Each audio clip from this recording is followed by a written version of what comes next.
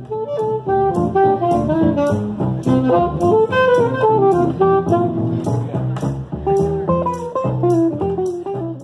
is a presentation that will allow you to get uh, irrigated land group credit. Uh, you need two hours of education per year. Today, if you're here, you're getting one hour. And also, I have a code for the CCA, um, which is not this yet. This is to sign up for email updates. I received a couple of phone calls yesterday and today of people that asked me how to uh, attend this meeting. So if you sign up for these email updates here on this code on the left, then you will get the flyer. And instead, if you are a CCA, thank, thanks to Lee, and this is the only picture that I could find on the internet uh, uh, of Lee together with Dr. Beckerman of, of Purdue. I hope I don't get him in trouble with his wife by showing this picture publicly. But thank you, Lee. Thank you, Lee. We really appreciate him. Thank to his uh, suggestion, now you can get CCA uh, CUs, and all you have to do is to scan this code. And now that I'm done with the housekeeping, we are gonna start with the presentation. These are the goals. I'm told that Jerry, you have to present what the goal, the learning goals for the day are. So this is where this um, slide comes from. We're gonna learn how to measure pressure. We're gonna learn why pressure changes in a pipe. Why if there is a main line that is that is underground here and is taking water to this sprinkler and to this sprinkler, why why do I measure pressure that is lower here than there? What are the principles that make pressure change uh, as it travels in a pipe. We're going to talk about how pressure affects flow rate and application rate. And, and these are two variables that we really worry a lot about in irrigation because that's what determines how long we run our irrigation system. Then we were supposed to have a hands-on activity, but nobody's here, so I'm gonna I'm gonna have it myself, and I guess I, I'm gonna show you from with the with the camera from home how to do the hands-on activity. And then we're gonna finish by uh, talking a little bit about pressure regulators, and then I'm gonna challenge you, challenge you um, to um, guess or to uh, make an educated guess on a question. And if you do, you will win ten dollars.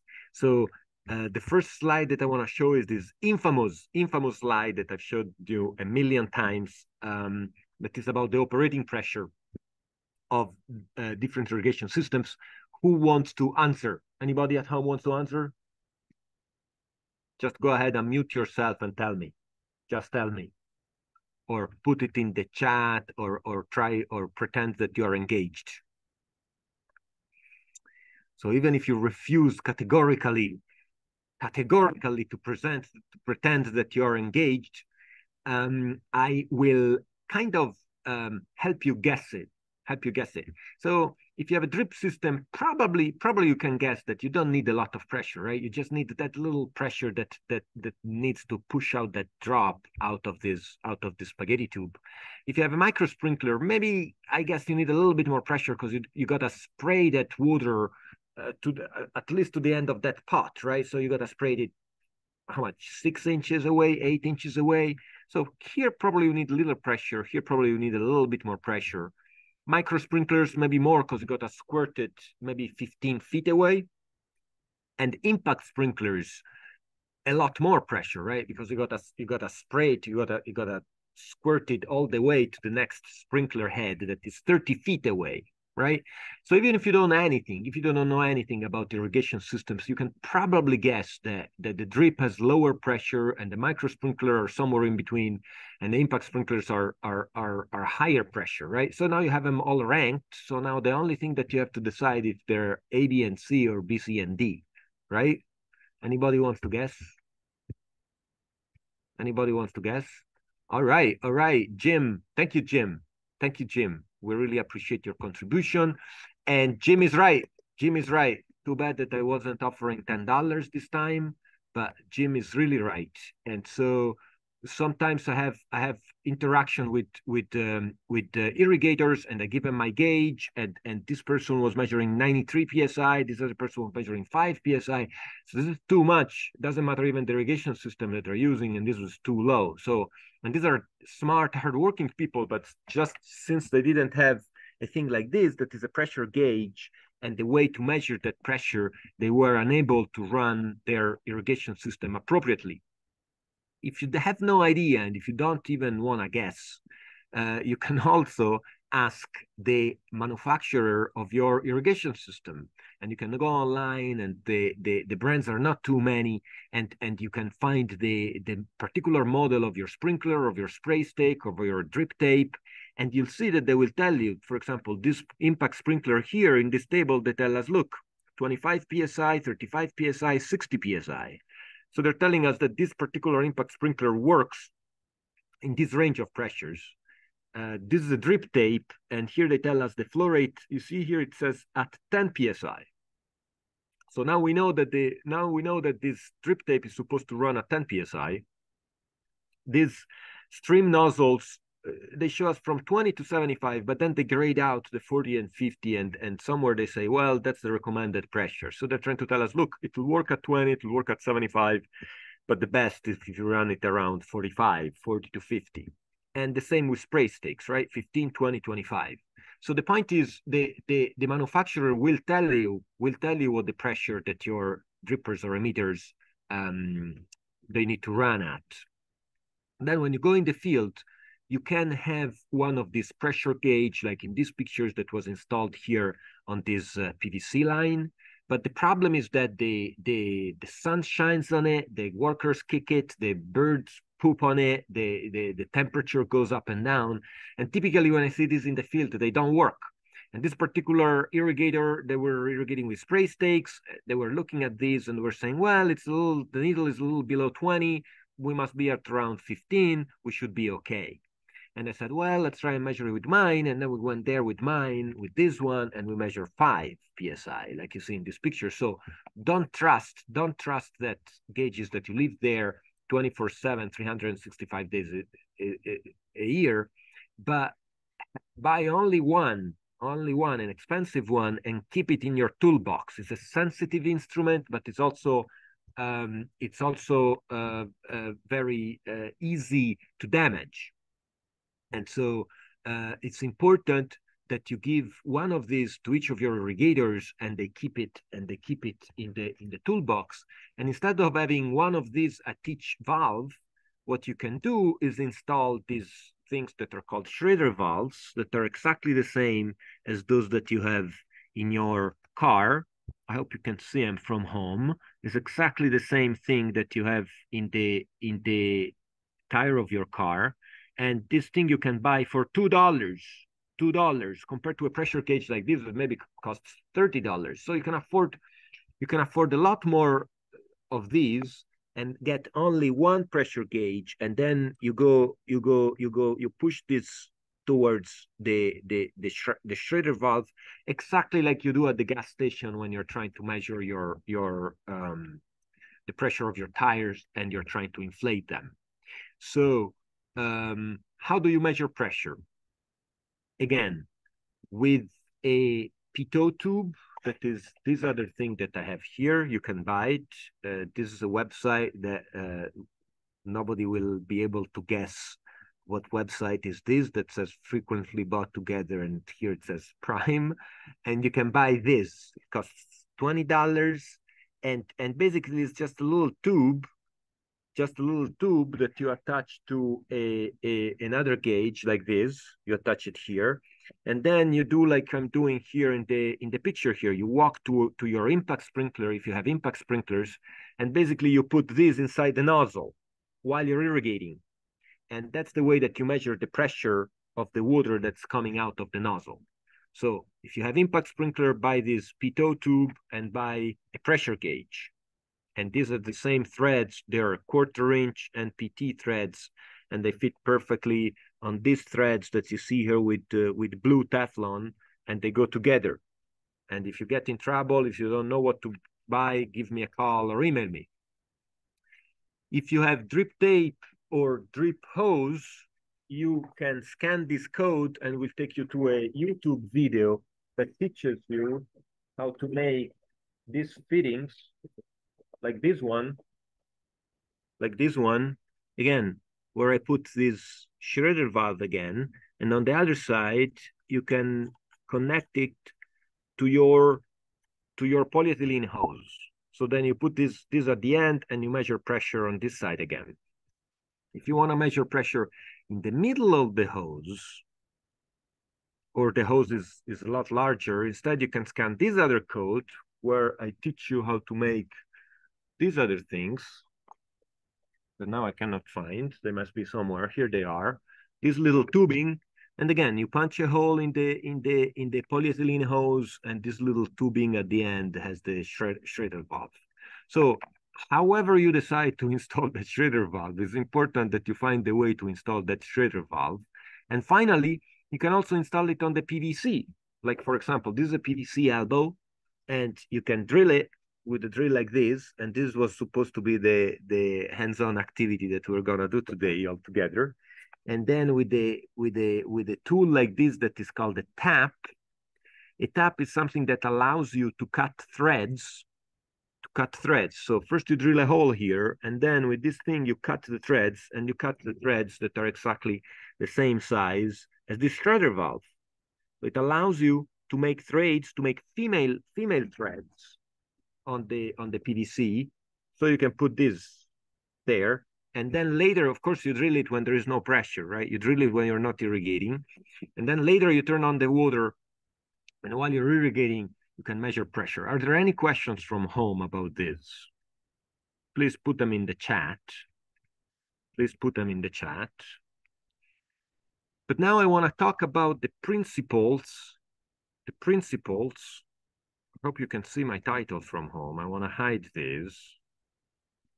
I want to hide this. I want to talk about some principles that um, that decide how pressure changes in a pipe. So the first one, the first one, my meeting will end in 10 minutes. Don't say that. Tasha, help. Okay, we'll we'll deal with it in 10 minutes. Stick with me. Stick with me. Join if you if if if it kicks you out, join the same one again. Um so the first principle is elevation, right? You know that when you when you swim in a pool, the deeper you go, the higher the pressure, right? And so this is this is something caused by gravity, by the weight of, of water that is above your head. And it's true in a pool, but it's also true in an irrigation system. And it's true whether water is moving or not.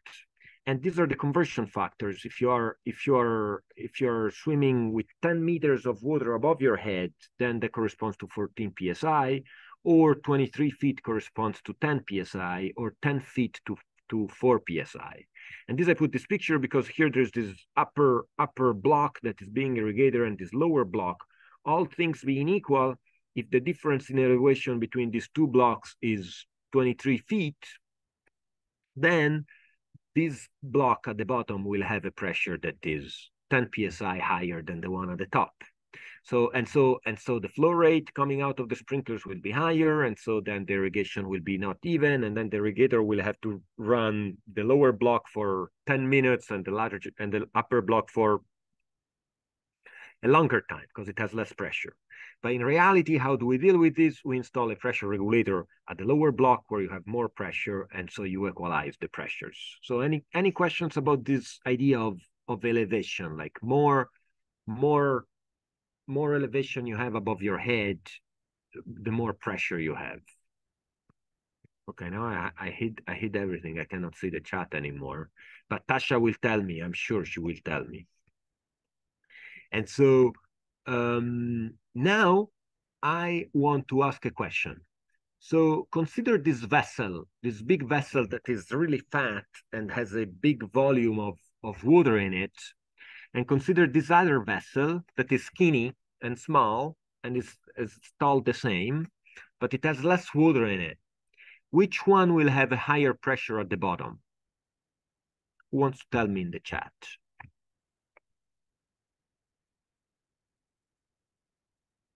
Who wants to tell me in the chat? Somebody sends the larger. Any other questions? Any other answers?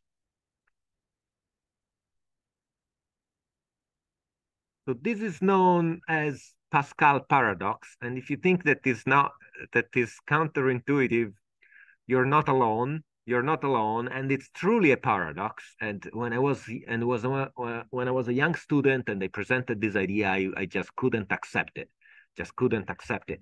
But it turns out, it turns out that it doesn't matter. It can be big, it can be small, it can be skinny, it can be shaped like this, like a flask. It can be upside down it does not matter. It's not that if it has a lot of volume, then it will have a lot of pressure. They're two different things. They have two. They have. They're two different things. So the pressure at the bottom of this thing will be exactly the same as it is at the bottom of this other one. The only thing that affects the pressure is this. The pressure is this H. It's this H. So it's, it says pressure is the same at the bottom of all containers. So you could have cheated you could have cheated by reading the the the the figure and gave me and given me the answer right did i convince you and and again it's called the pascal's paradox. It's a paradox. It sounds it sounds weird. So so i want you to acknowledge that it sounds weird weird. So it only again pressure only depends on height and not on the and not on the volume and not on the shape of the container right? It can have the shape imagine that this one had another leg here. It would be the same, right? And and I say this because typically irrigation system have different branches, right? Different legs, right? So if I have high pressure here and have say I have a pump here and the water is going up and up here the pressure is low, as we said already. Say that we come back on the other on the other side of the hill, you have the same pressure on the other sides on the other side too, right? Once I had a grower that told me, well, it divides. If I have 30 psi, I have 15 here and 15 there. It does not divide, right? It does not divide either. Did I convince you? Did I convince everybody? All right, I'm just I'm just gonna keep going. The other the other phenomenon, the other phenomenon is called friction. So you can say that if you have a pipe with water moving, you can say, well, water is moving and therefore the molecule are rubbing are rubbing against the walls and so they lose they lose pressure. Imagine that I'm walking with my shoulder touching a wall, and and the wall is slowing me down, right? Because that there's that there's that friction of of the wall on my shoulder, right?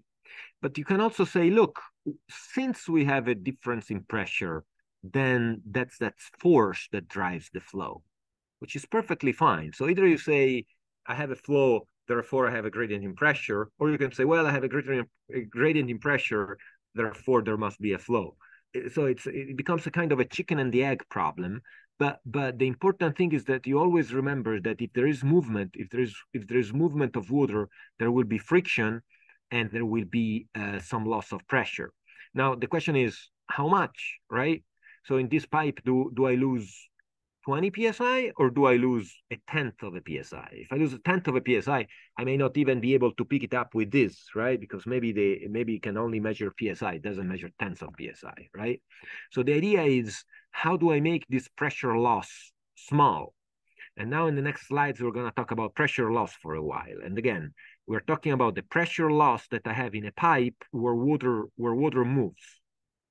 So now I want to ask you this question let's say that this pipe is 100 feet long and I have some pressure loss. What happens if I make it longer? What happens if I make it 200 feet? Do I get a larger pressure loss at the end or, or, or a smaller? Do I get more pressure loss with the longer pipe? Anybody? Everybody's already sleeping completely? Okay, so yes, if the pipe is longer, I lose more pressure, right? That's kind of a no-brainer. How about if I have a smaller diameter? Who wants to tell me? If I have a skinnier pipe, do I lose more pressure or less?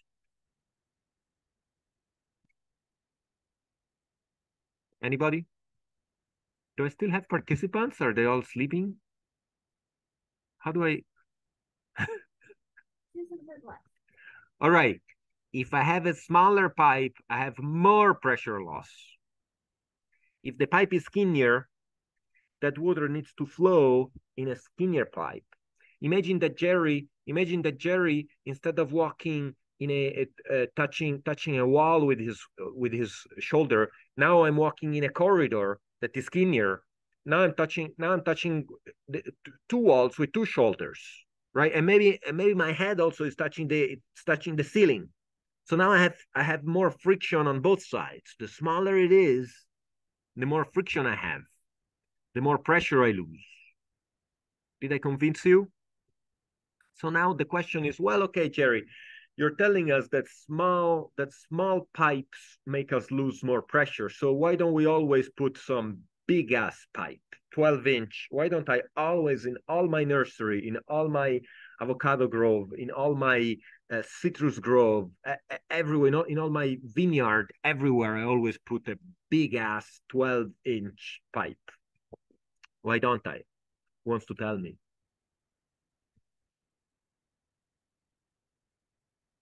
because it's expensive, right? It's expensive. It's more plastic. You have to dig a big trench, more work to move this big pipe around, more storage. Does it make sense? More labor, more everything. So there's a there's a trade-off. There's a trade-off between how much pressure you lose because because you have a small pipe and how much and how expensive in terms of its investment this pipe is if you put it too big. Does it make sense? Yes. One minute to the end. Okay, we will restart in one minute. P please join us again. I don't know why this is happening. Um, what happens if I have a larger flow rate? What happens if I'm irrigating two irrigation blocks with only one main line instead of only one? Let's say that each irrigation block takes 15 psi. Do I lose more pressure in my main line if I have 30 psi running in it or 15 psi? Uh, sorry, 30 gallons per minute running in it or 15 gallons per minute running in it? What if I have two Jerrys in the same corridors or crammed together that are trying to walk? Where where do I get more more more friction? Right? More flow rate, more more friction losses I get, right? Did I did I convince you? Perfect. So did I convince you with this with this pipe? We lose more pressure if it's longer we lose more pressure if it's skinnier. We lose a lot more pressure if there is more flow rate in it. Did I convince everybody? Yes, no? All right, so what we just said in words is represented by this equation that is called Hazen-Williams equation. Equation, Hazen-Williams. Some, some, some two people with these last names invented this thing. And they said, look, your pressure loss depends on a factor multiplied by L, which is the length of the pipe. So the length of the pipe is linear. You double the length of the pipe, you double the pressure loss. That's simple, right? Then here they put Q, that is the flow rate. And notice that they have, it has an exponent here. That is almost two. And I, and I plotted it here. So here is telling you that if you increase, if you increase the flow rate in this thing, the pressure loss more than doubles for example, here, if you have a flow rate of 100 gallons per minute, the pressure loss is 15 psi in a in a two in a two inch PVC pipe. If you double that flow rate to 200, now you get 55. Right, the double would have been 30. The triple would have been 45. It it more than tripled. We doubled the flow rate and the pressure loss more more than tripled. Did I convince you? Did I convince you? Okay, so now Dick says, if you have a 150 feet pipe divided equally, half, three quarters, will the pressure remain the same? No, you always lose pressure. Of course, in your one inch, in your one inch section that is larger, you lose less pressure than in the, your three quarter inch pressure and in the three quarter inch pressure you lose less than in your super skinny one half inch one as long as they're the same length and as long as the flow rate is the same right but but you lose less pressure in the in the fatter pipe like we like we, we said before so thank you thank you dick for your for your question and at the at the bottom in the numerator we have this inside diameter so which is inversely related, right? It makes sense because if this is larger, if I put a, a, a, larger pipe, if the diameter is larger, now the pressure loss, loss becomes smaller. So they're inversely related, right? I hope it makes sense. And notice that it has that it has an exponent that is almost five. So the diameter is the big player here. The diameter is a big player. Increasing the diameter decreases the pressure loss substantially. Substantially. Did I convince you? I hope I convinced you. And if you're not convinced, in the next in the next newsletter coming from my office from the cooperative extension of San Diego, there will be an article where I talk about this uh, equation. And also, if you don't want to understand it, you just want a spreadsheet where you can punch in the numbers. And Dick, I I I encourage you to download that spreadsheet from my website and play around with numbers and say, okay, let me see. Let me put it at three quarter. Let me see how the pressure loss is. Let's put one inch. Let's see how much the pressure loss is. Let's put half inch. Let's see how the pressure loss is. And if you don't understand how to use that spreadsheet, please give me a call and I will be happy to walk you through it. And now this is something similar to what I believe that Dick suggested, which is called people call it telescoping. And once I was at this nursery and they had a four inch, four inch pipe here. And then here they have lateral lines that go and serve sprinklers on either side. And then here it becomes three inches. The main line becomes three inches and then it becomes one, one and a half inch. And at the end it became one inch. So this is what I call telescoping and and uh, and I want you to understand why people use it, why people do it. So here I drew I drew what it would look like if the main line was two inches all the time and what it would look like with telescoping. So here we have two inches diameter, then it becomes smaller, it becomes one and a half, and here it becomes one inch, right? So as we said earlier, as we said earlier, the more flow rate you have in it, the more pressure you lose. So but here at each lateral line, we are losing some flow rate because here five gallons per minute go and serve this sprinkler, and here five gallons per minute go and, and serve this sprinkler, right? Assuming that our sprinklers have five gallons a minute nozzles. So if I have 90 gallons per minute here, I will have 80 here, I will have 70, 60, 50, 40, 30. Does it make sense? So now my flow rate diminishes, my, my, my, my flow rate becomes smaller and smaller. And so some super smart guy, some super smart guy must have said, well, I'm smart. Now I have a smaller flow rate. I can afford, I can afford a smaller pipe. I can afford to buy a one and a half inch pipe instead of a two inch pipe for this sec sec section and a one inch pipe for this section. So I will save money on plastic.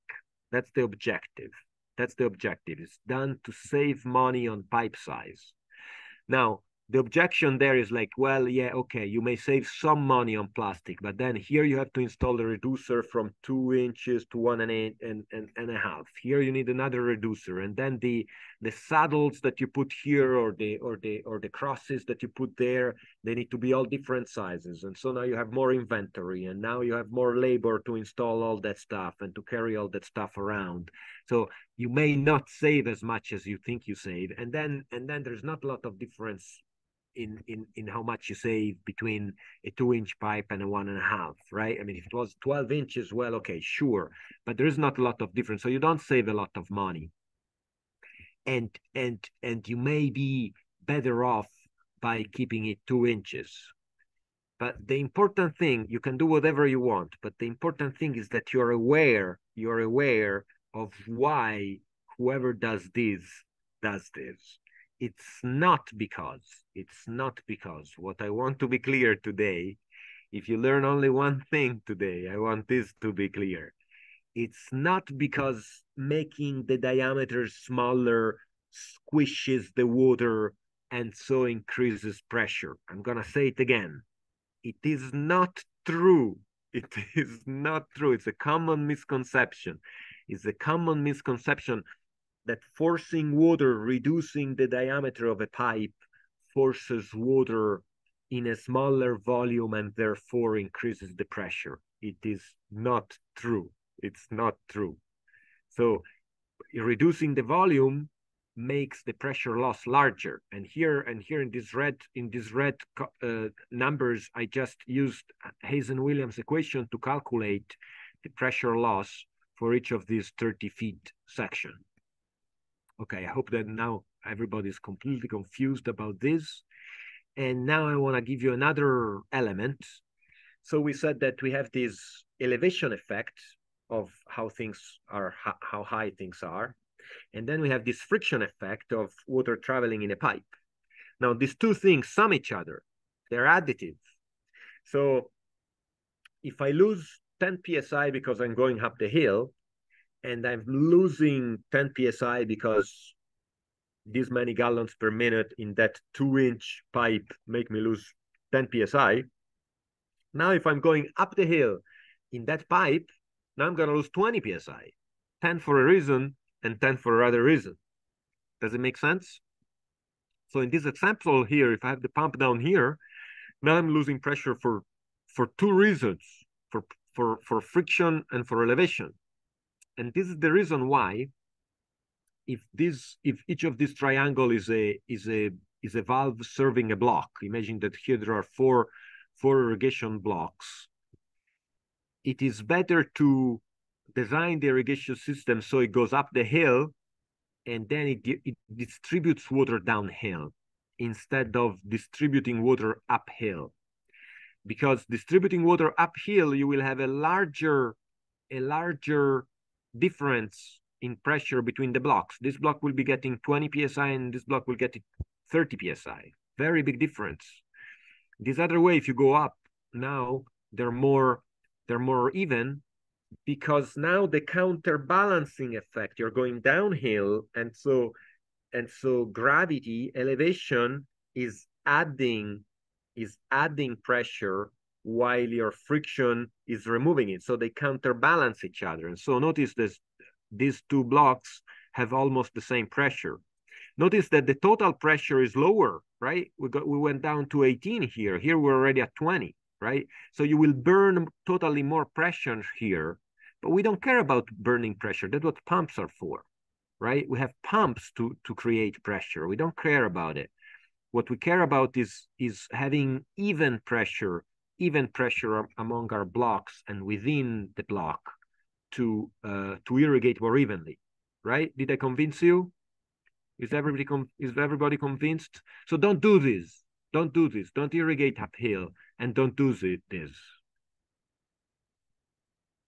Okay, so now to wake everybody up. Uh, yesterday, David sent me this sent me this text that I don't understand. So somebody, somebody, I mean, I'm happy to teach you to explain to you how Hazen William equation works, but may you please explain to me uh, David's joke. So I answered, haha, thanks, because I wanted to be nice. but um, I don't understand the joke, but I still want to acknowledge the contribution of David. Hi, David. I hope he's listening to us at home. And so, uh, yeah, this is David jokes, and I thought I used it in the middle of the of the of the talk to wake everybody up. And now that I woke you up, um, why don't we like uneven pressure? Well, because uneven pressure gives uneven irrigation, right? Say that I bought this emitter and um, the, the, the seller told me, look, at 10 PSI, it gives you one gallon per hour. Then I install it in my hose and I'm irrigating my, what are they, vincas or impatiens. I'm irrigating my flowers and, and at the beginning of the hose, I have 15 PSI and this emitter is actually putting out 1.2 gallons per hour instead of one. At the end of the hose, I have 6 PSI and it's putting out 0.8 gallons per hour instead of one. And so this plant is getting a lot of water. This plant is very, getting very little water and my irrigation is not uniform. Yes, chat, chat on a 30 degrees slope, how much pressure will you gain every 15 feet? Okay, so you need to calculate. So there's some trigonometry there that I can help you, uh, but not now. When we are offline, we can talk about if you have 15, 15 feet, how much is this? So we can calculate that together on a 30 degree slope. But then and then once we have that vertical, that h, that height, we can uh, um, we can say that every every 2.3 feet is one psi, or every 23 feet is 10 psi. So Dick, if you send me an email, we can talk offline and we can do some trigonometry together and I'll get you the answer. But I really appreciate you participating. And so I was saying these drippers, they will give less water to my avocados, right? The avocado at the end of the line will get less water than the avocado at the beginning of the line. Or maybe the avocado at the top at the top of the slope will get less water than the one at the bottom of the slope. So some super smart irrigation engineer invented a pressure compensating emitter, an emitter called pressure compensating. And they have the, the principle is that inside there is this uh, this disc that is flexible, and when there is when there is more pressure, the pressure pushes the the that disc to plug to partially plug the emitter, and when there's less pressure, the, the, the, the diaphragm kind of relaxes and opens the, the orifice. And that way, that way, these emitters are less sensitive to pressure differences. So at 15 psi, that emitter will still put out one gallon per hour. And at 6 psi, it will still put out one gallon per hour. And now my vincas are happy, and now my, my avocados are all getting the same water. So this is what this is what people mean by pressure compensating emitters, and this is the principle. This is the principle of how they function. Now, when you buy emitters, you see in the in the manufacturer specification something that is called the flow rate pressure relationship. That is a super scary graph like this. So today I want to give you some tool to be a little bit less scared by these by these uh, graphs. And all they're trying to tell you is, look, at 20 PSI, I put out this flow rate. At this PSI, I put out the same flow rate. You see, it's flat. So it doesn't matter what pressure you give me within this range. Notice that below 10 PSI, then it doesn't work anymore. But within this range, they're trying to tell you, look, between maybe 12 PSI and 60 PSI, it doesn't matter what pressure you give me, I always give you the same flow rate of 211 gallons per hour, right? That's what we want. These other ones, these other ones, they're not telling you that. They're telling you, look, at 8 psi, I give you 0.25 gallon per hours, but at 20 psi, I give you 0.32. So it's still flat, right? It's a good thing that this line is flat. It's they're telling you, look, the, the flow rate is not very sensitive to pressure. So it's good that it's flat. It would it would be worse if, if it was steep, right? It would be worse if it was steep but it's not completely flat. So when they're truly pressure compensating emitters, this line, this pressure, this flow rate pressure relationship needs to be flat. Okay, now to wake you up again, we're gonna have this hands-on activity where we get a, a drill and we drill a hole. I hope I can do it here. I hope I can do it here while I have you on Zoom. Without hurting myself. So you drill a hole. I hope you can see that I just drilled a hole in this PVC elbow. And then you get this thing, you get this thing that is called a tap. And and when you buy this this tap, it comes it comes with the same size um, bits. So these two things go together. You got to buy them together. You got to buy them of the appropriate size and then and then you kind of just screw this tap in and then you get a wrench to screw it in all the way. And while you do that it cuts i think i hope you can see the burrs there. It cuts threads in this pvc now i'm doing it a little fast because I don't want to bore you at home. You see these things are coming out? These little pieces of PVC were the threads that were cut. Can you see? Can you see the threads inside now? I hope you can see them from home. And then you take this Schrader valve, you put some Teflon. Now for the sake of time, I'm not gonna put the Teflon and then you screw the thing in and now it's watertight. Now you can run your irrigation system, and when there is pressure in this in this pipe, you can show up with your gauge and push it in here and measure the pressure.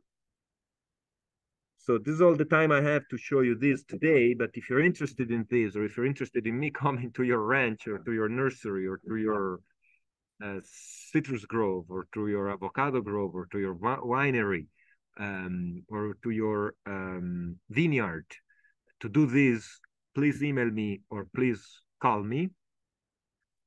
And now I want to give everybody a chance to win $10. Here's $10.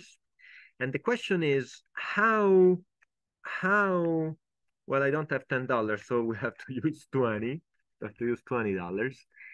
Uh, how does pressure affect radius, the flow, and the precipitation rate of sprinklers? This is a sprinkler that I see out there pretty often at nurseries. And so I downloaded the specs. And and let's look at this nozzle that is full. Actually, this is the half, right? It only spray half uh, 180 degrees. But let's look at this full. They tell us, look, at 15 psi, you get these specs. At 20 psi, you get these specs. At 30 psi, you get these specs. It doesn't matter if you grow vegetables and you have impact sprinklers. Doesn't matter if you have micro sprinklers on avocados. It's all the same. So the question is, what happens to the radius as the pressure increases?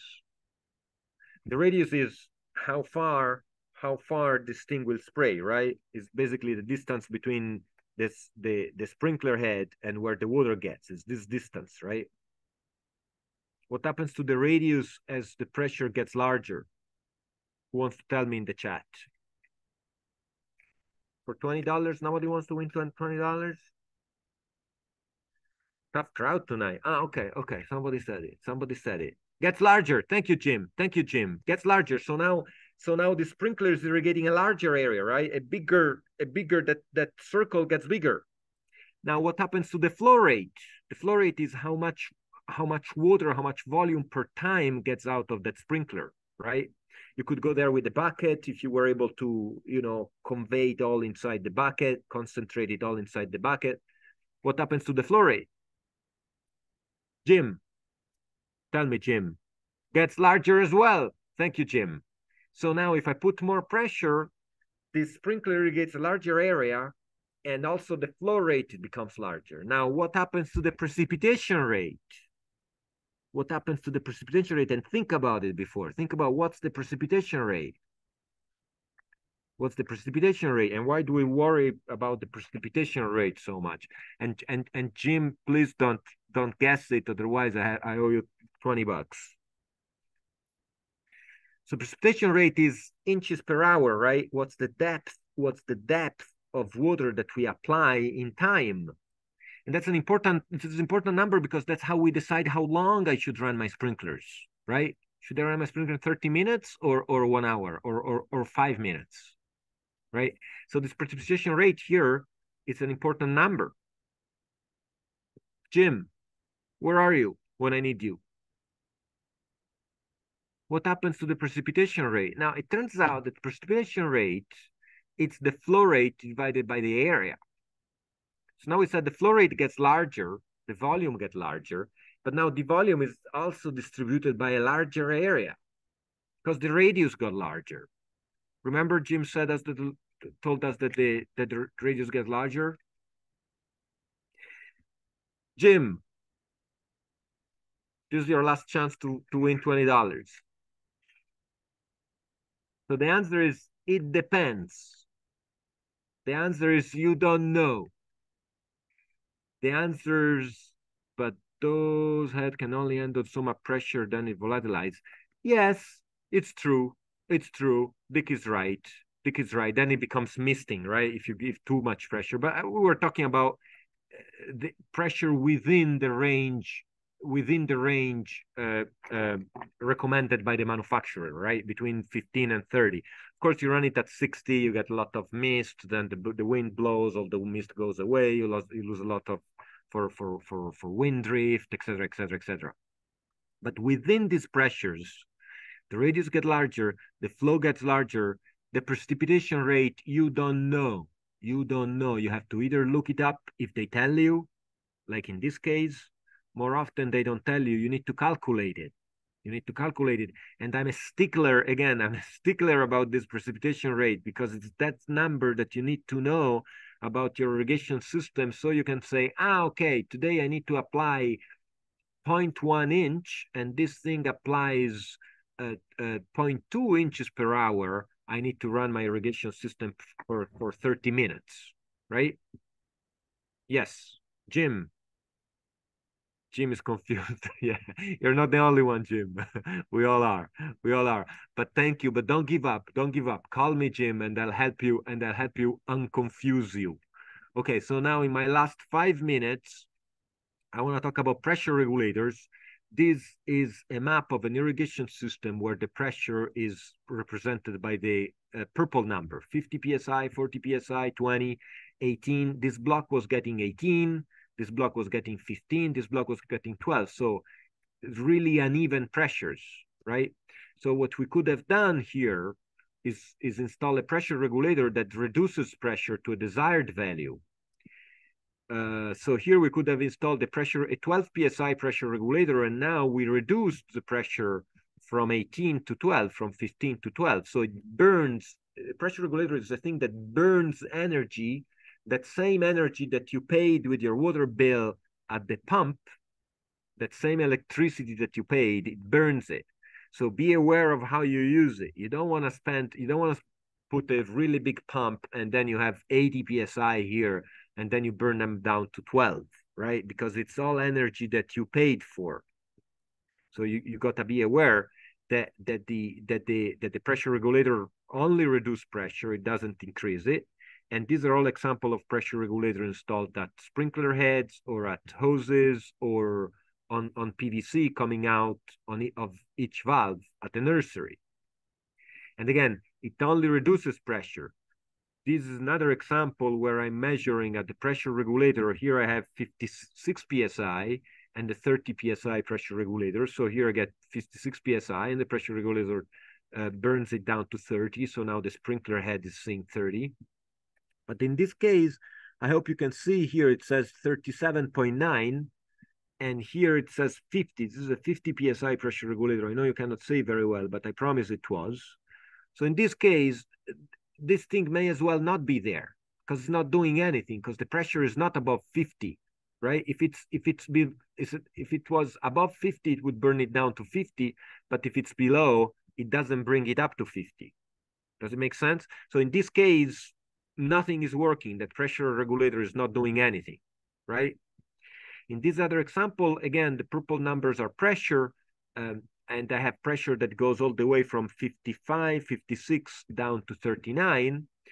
In this case, if I have selected some sprinklers that work well at 40 psi, and each of them had the pressure regulator at 40 psi, then now all my sprinklers are seeing 40 psi except I guess this one that says 39 and this one that says 39. But now everything is equalized, right? I cannot put pressure regulator of 50 psi and put and, and put sprinklers that need 50 psi because all these guys would would be running at low pressure. Does it make sense? I hope it makes sense. Um, so now I want to close with this. I want to close with this. We said that pressure regulator do not increase pressure.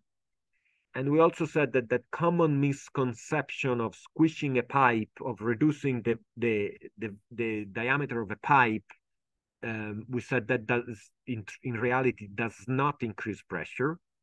So now I want to ask you, what are the only two things, the only two things in the world in this world that can increase pressure?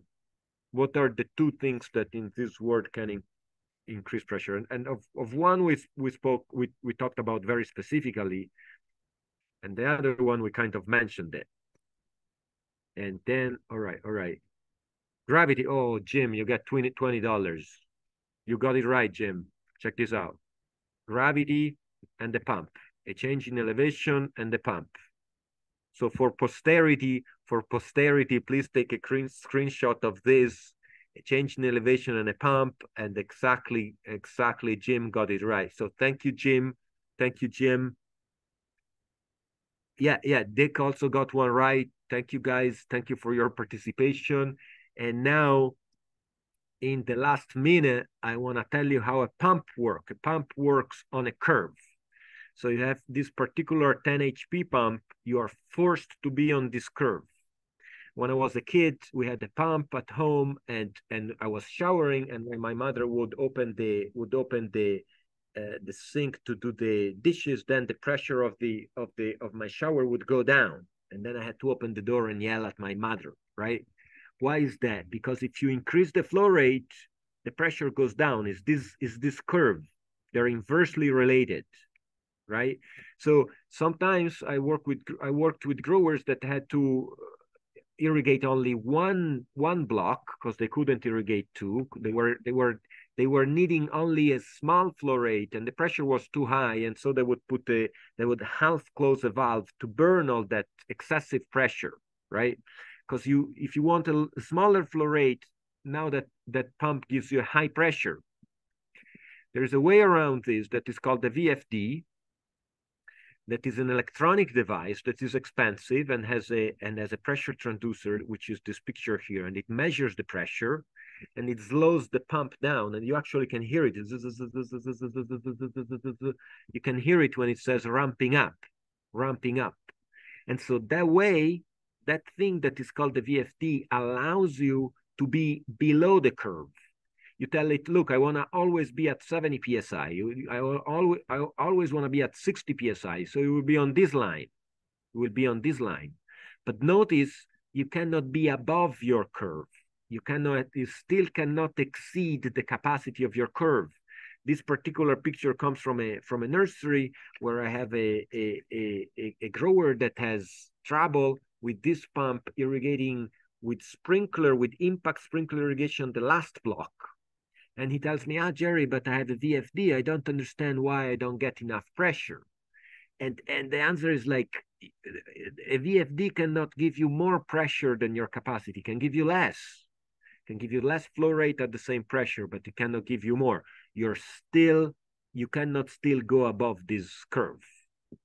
So now it's uh, 2 p.m. I really appreciate your time.